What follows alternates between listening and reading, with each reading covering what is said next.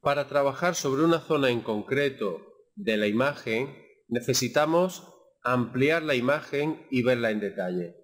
Para ello utilizamos la lupa.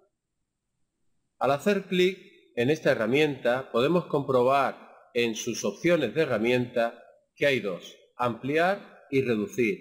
Ahora mismo está seleccionada la opción ampliar, por tanto cuando hagamos clic con el botón del ratón ampliaremos la imagen.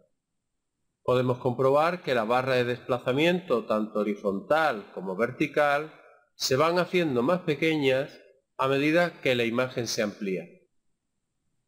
Desplazarnos de esta forma por la imagen puede resultar complicado.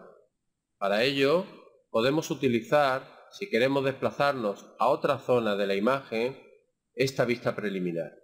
Cuando estamos situados en la zona que queremos, soltamos el ratón. Otra forma de controlar el zoom, la ampliación, es mediante este desplegable que hay en la parte inferior de la ventana imagen.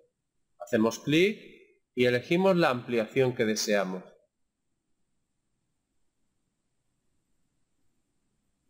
Si queremos reducir la imagen, en opciones de herramienta hacemos clic en el botón radial reducir y en este caso cada pulsación del ratón nos irá alejando de la imagen, nos irá haciendo la imagen más pequeña.